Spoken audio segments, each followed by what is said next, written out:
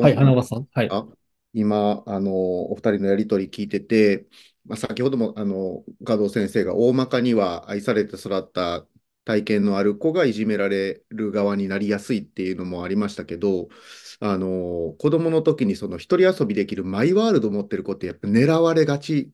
だと思うんですよね。ちょっとこう浮いてるとか、ちょっと変わったやつみたいに見られて、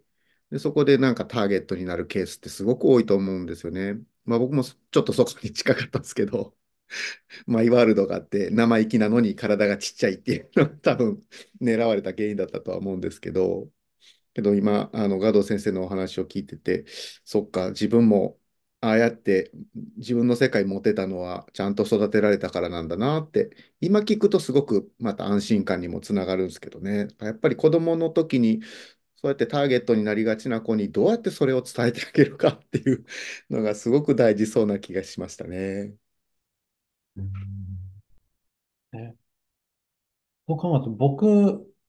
あの、小学校浪に数ヶ月してて、あの、ドイツ行った時に、小学、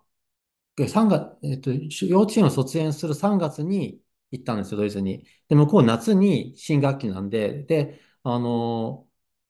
だから学、学年末に健康って扱いもできたんだけども、そこは、あの、両親に今も感謝してるんですけども、あの、国も違う、言語も違う。で、そこで勉強も途中からっていうのは、っていうことで、1学年遅らせてもらったんですよね。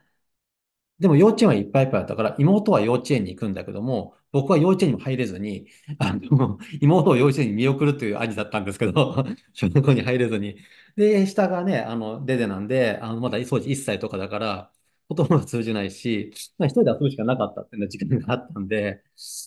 その時間も確かに貴重だったかな、とも、今の話聞いて思ったりもしました。うん。ということで、理解で大丈夫ですかね、僕。